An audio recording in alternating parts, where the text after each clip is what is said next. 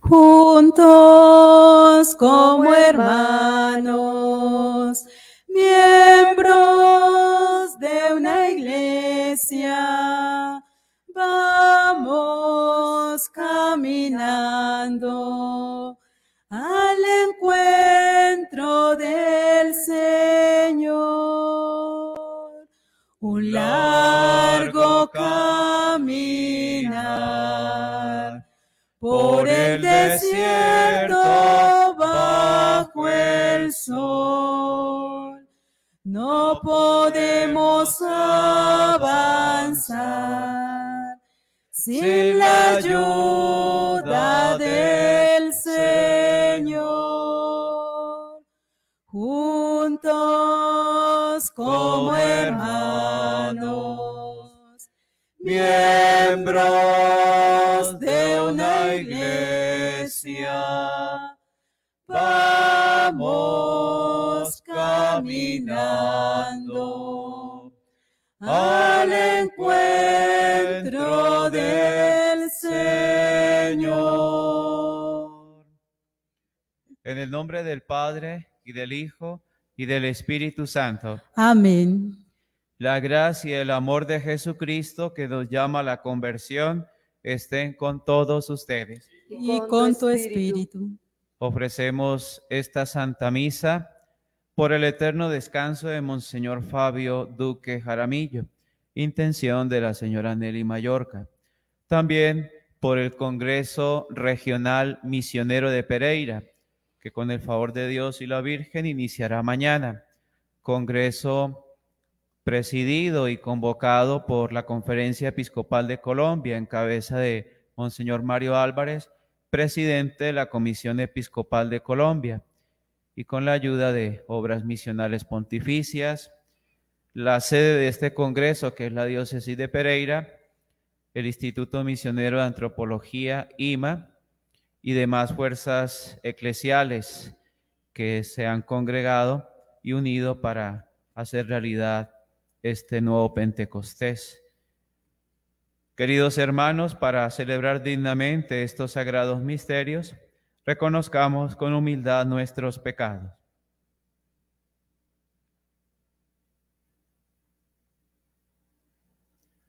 Yo confieso ante, Dios, Todopoderoso, y ante, ustedes, hermanos, que he pecado mucho de pensamiento, palabra, obra y omisión, por, mi culpa, por, mi culpa, por mi gran culpa. Por eso ruego a Santa María, siempre Virgen, a los ángeles, a los santos y a ustedes, hermanos, que intercedan por mí ante Dios nuestro Señor. Dios Todopoderoso tenga misericordia de nosotros, perdone nuestros pecados y nos lleve a la vida eterna. Amén. Señor, ten piedad. Señor, ten piedad. Señor, ten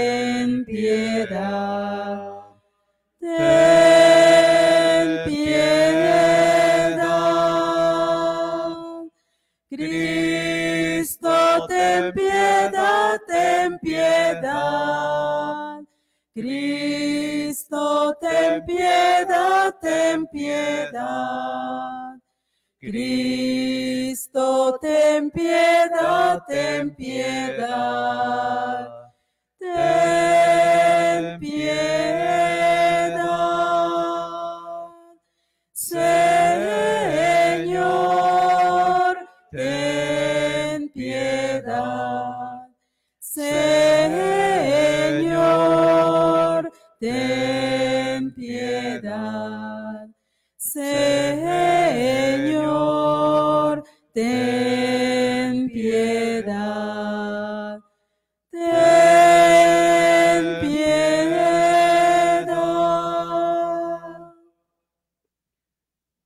celebramos con la iglesia la memoria de San Patricio, obispo, misionero, patrono de Irlanda. Pedimos especialmente por Europa, particularmente la conversión de Rusia, Ucrania y del mundo entero. Oremos.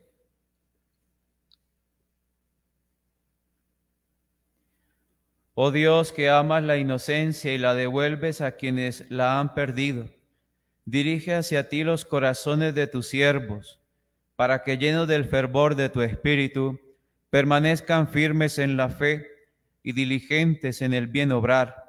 Por nuestro Señor Jesucristo, tu Hijo, que vive y reina contigo en la unidad del Espíritu Santo y es Dios por los siglos de los siglos. Amén.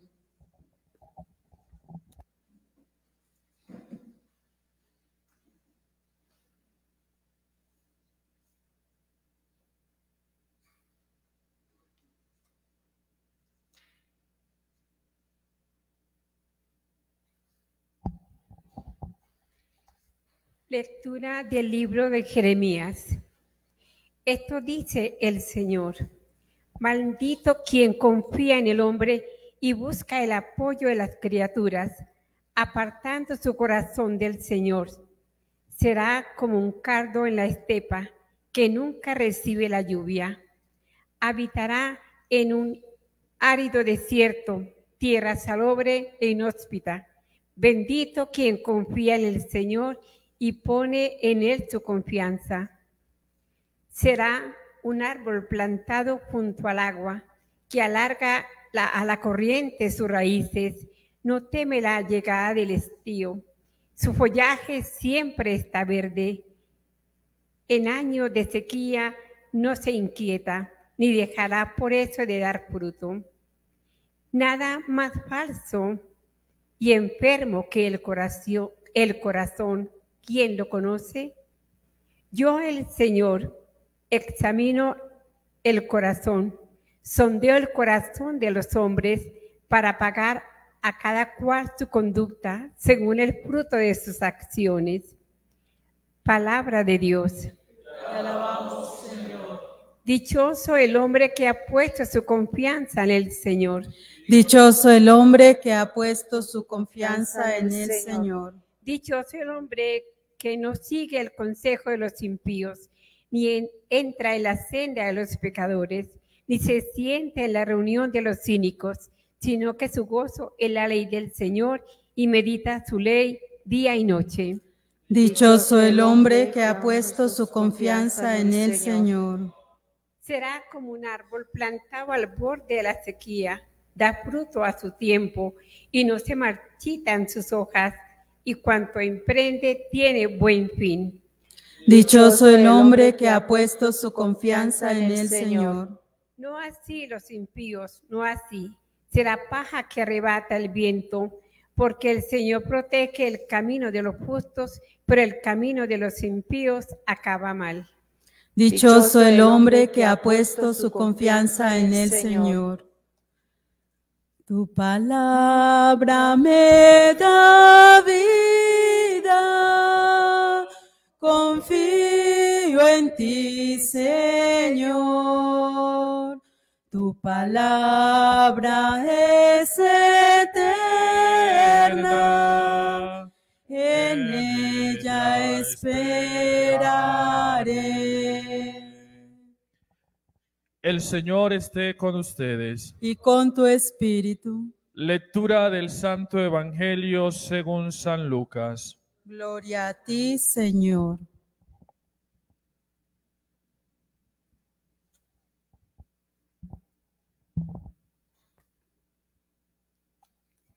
En aquel tiempo dijo Jesús a los fariseos, había un hombre rico que se vestía de púrpura y de lino y banqueteaba cada día. Y un mendigo llamado Lázaro estaba echado en su portal, cubierto de llagas y con ganas de saciarse de lo que caía de la mesa del rico.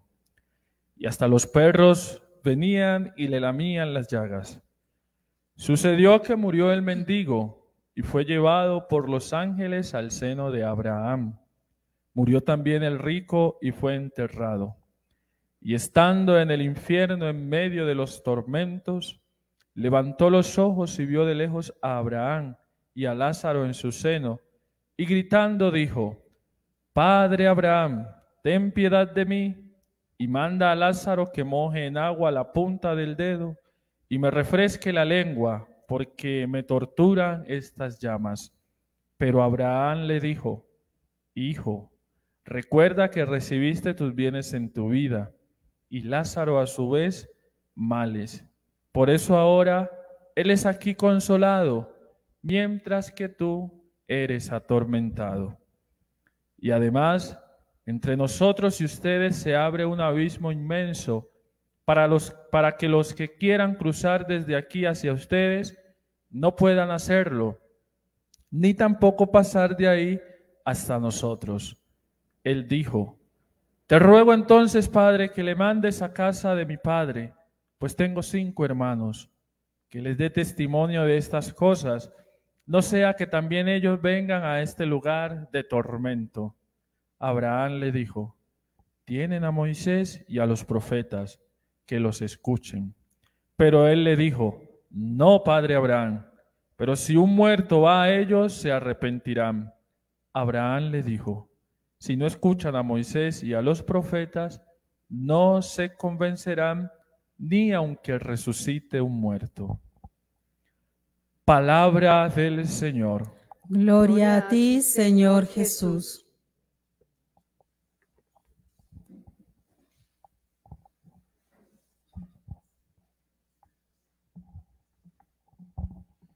Dichoso el hombre que ha puesto su confianza en el Señor. Así lo ha hecho María Santísima. Hágase en mí según tu palabra. Y así también lo hizo San José. José se levantó y tomó al niño y a su madre y fueron a Egipto. Hizo lo que le había mandado el Señor. Poner la confianza en el Señor. Tenemos el peligro permanente de poner la confianza en nosotros mismos, en mis capacidades, talentos, salud, fuerza y demás cosas que, si pensamos bien, pues se nos han sido dadas. Toda bendición viene de Dios. Por eso la confianza en el Señor. Lógico que también confiamos en el esposo, en la esposa, en los hijos, en los padres, en los misioneros, pero en la medida en que pues está allí el amor que es Dios mismo. Y Dios confía en nosotros, nos llama y nos entrega una misión, confía en nosotros. Confía en que nosotros nos vamos a abrir a su gracia y vamos a permitirle que su poder brille en nuestra debilidad, como lo refiere San Pablo y todos los santos. Poner la confianza en el Señor. A San Juan Pablo II lo entrevistaban varias veces. ¿Por qué santidad tan alegre viendo que el mundo se está destruyendo? Y él decía esto, porque Cristo ha vencido y en Él está mi confianza. Por eso los cristianos vivimos felices, porque hemos puesto la confianza en el Señor y ya Él ha vencido a la muerte, al pecado. Y también, si vivimos y morimos con Él, pues también vencemos al pecado, a la muerte, al mundo, a todo. Porque Cristo en nosotros nos hace superar todas las dificultades, aún la muerte. Pero vemos también en esta página del Evangelio tan preciosa que hemos escuchado, lo del rico y lo de Lázaro. ¿Cómo en este mundo nos podemos olvidar de Dios y de los hermanos que sufren, teniendo aún cómo remediarlos, pero el orgullo, el egoísmo, la vanidad y otros males nos hacen duros de corazón. Y la invitación durante esta cuaresma de manera especial, pues es a poner la mirada en Dios, a limpiar nuestro corazón de todo egoísmo, con oración, penitencia y caridad.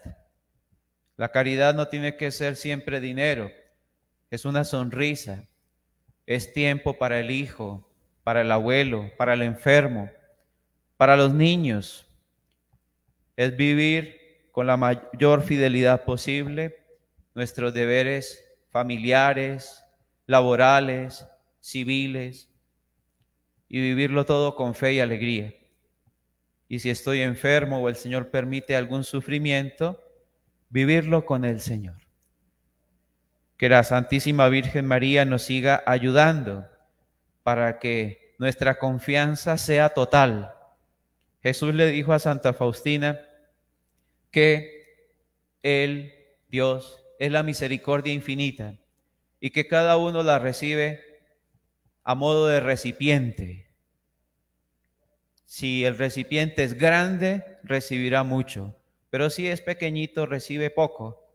Y ese recipiente se llama la confianza en el Señor. Según sea tu confianza en el Señor, así será la misericordia que recibirás y también las cosas que Dios hará en ti y a través de ti.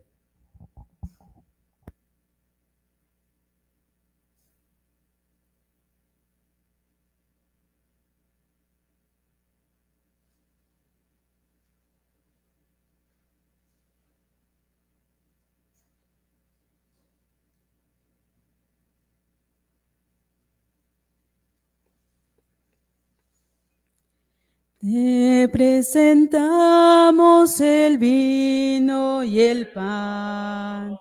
Bendito seas por siempre, Señor.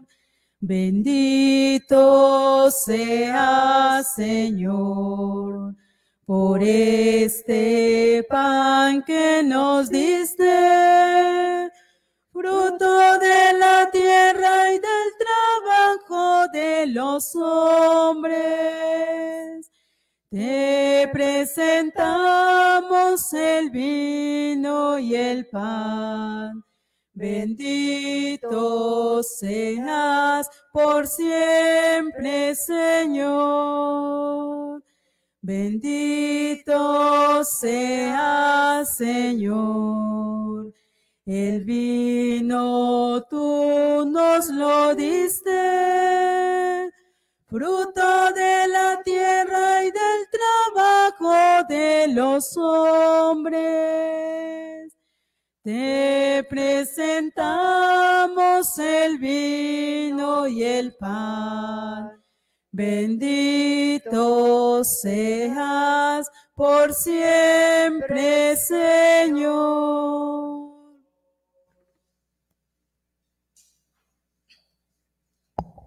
Oren hermanos para que este sacrificio mío y suyo sea agradable a Dios Padre Todopoderoso. El Señor reciba de tus manos este sacrificio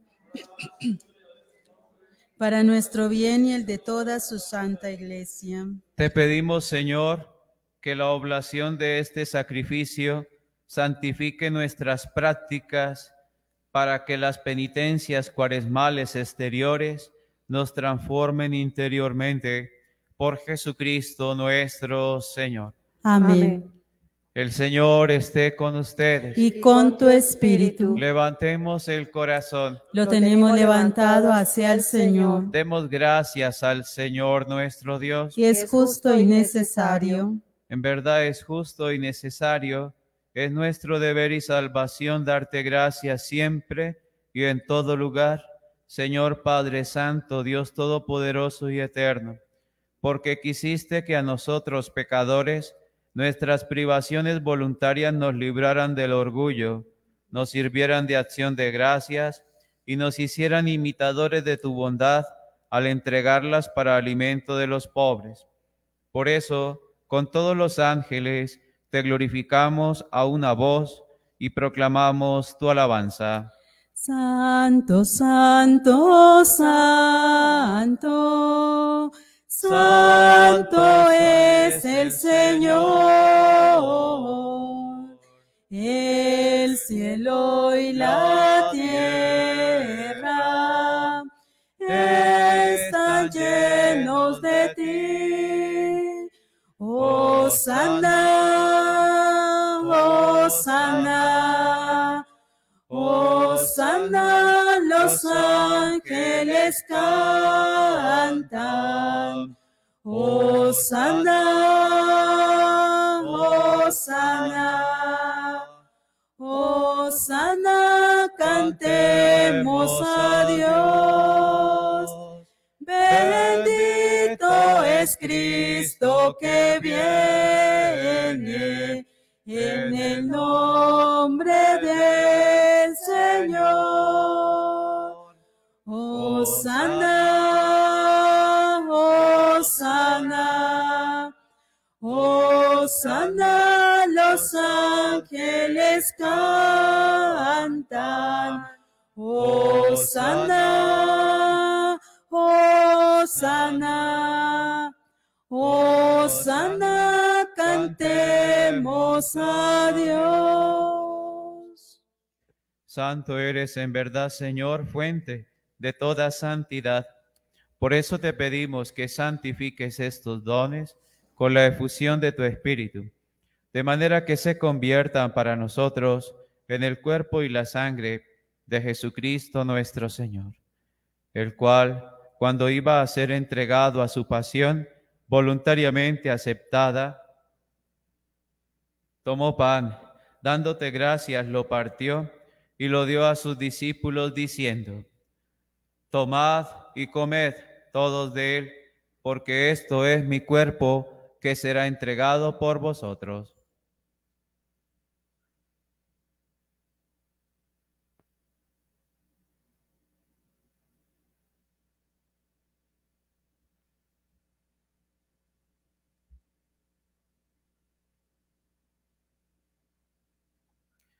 Del mismo modo, acabada la cena, tomó el cáliz y dándote gracias de nuevo, lo pasó a sus discípulos diciendo, Tomad y bebed todos de él, porque este es el cáliz de mi sangre, sangre de la alianza nueva y eterna, que será derramada por vosotros y por muchos para el perdón de los pecados. Haced esto en conmemoración mía.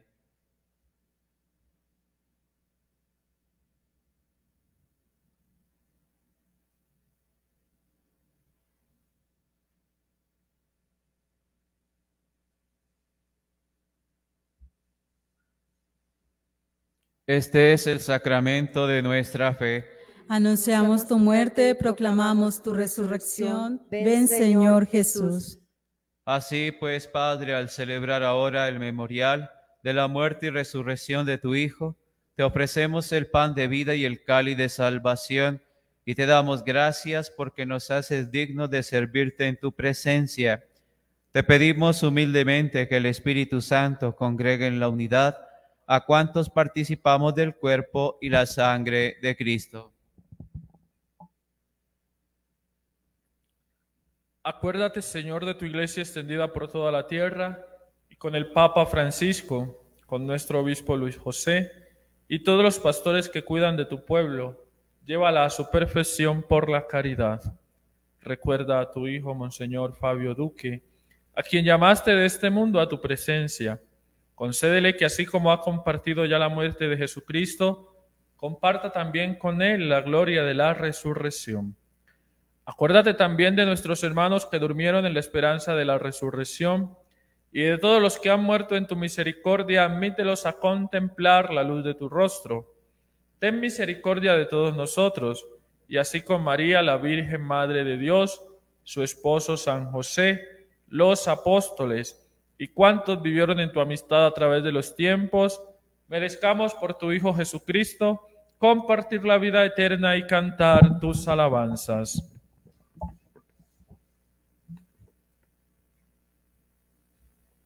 Por Cristo, con Él y en Él, A ti, Dios Padre Omnipotente, en la unidad del Espíritu Santo, todo honor y toda gloria por los siglos de los siglos. Amén. Llenos de alegría por ser hijos de Dios, digamos confiadamente la oración que Cristo nos enseñó. Padre nuestro, que estás en el cielo, santificado sea tu nombre. Venga a nosotros tu reino. Hágase tu voluntad en la tierra como en el cielo. Danos hoy nuestro pan de cada día. Perdona nuestras ofensas, como también nosotros perdonamos a los que nos ofenden. No nos dejes caer en la tentación y líbranos del mal. Líbranos de todos los males, Señor, y concédenos la paz en nuestros días, para que, ayudados por tu misericordia, vivamos siempre libres de pecado y protegidos de toda perturbación, mientras esperamos la gloriosa venida de nuestro Salvador Jesucristo. Tuyo es el reino, tuyo el poder y la gloria por siempre, Señor. Señor Jesucristo, que dijiste a tus apóstoles, la paz os dejo, mi paz os doy. No tengas en cuenta nuestros pecados, sino la fe de tu iglesia y conforme a tu palabra, concédele la paz y la unidad, tú que vives y reinas por los siglos de los siglos. Amén. La paz del Señor esté siempre con ustedes. Y con tu espíritu. Dense fraternalmente la paz. Cordero de Dios, Cordero de Dios, que quitas el pecado del mundo, ten piedad de nosotros, ten piedad de nosotros. Cordero de Dios, Cordero de Dios, que quitas el pecado del mundo. Danos la paz, danos la paz. Este es el Cordero de Dios que quita el pecado del mundo. Dichosos los invitados a la cena del Señor. Señor, no soy digno de que entres en mi casa, pero una palabra tuya bastará para sanarme.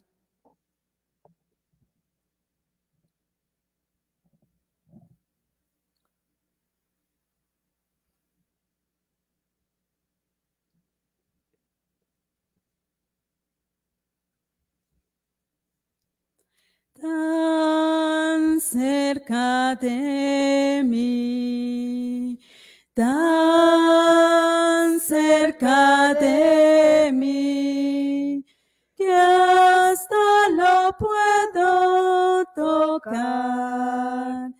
Jesús está aquí. Míralo a tu lado por la calle, caminando entre la multitud. Muchos ciegos van sin poderlo ver, llenos de ceguera espiritual, tan cerca de mí, tan cerca de mí, que hasta lo puedo tocar. Jesús está aquí. Le hablaré muy quieto al oído. Le contaré las cosas que hay en mí y que solo a él le interesará. Él es más que un mito para mí. tan cerca de mí, tan cerca de mí, que hasta lo puedo Jesús está aquí. No busques a Cristo en lo alto, ni lo busques en la oscuridad. Muy dentro de ti, en tu corazón, puedes adorar a tu Señor. Tan cerca de mí,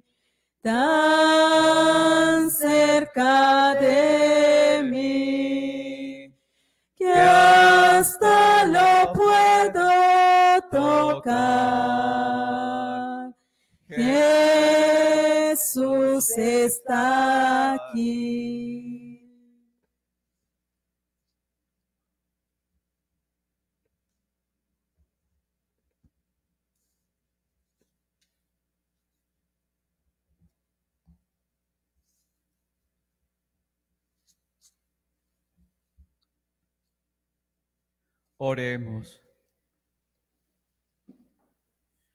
Concédenos, Señor, que este sacrificio prolongue su acción en nosotros y nos fortalezca con su eficacia. Por Jesucristo nuestro Señor.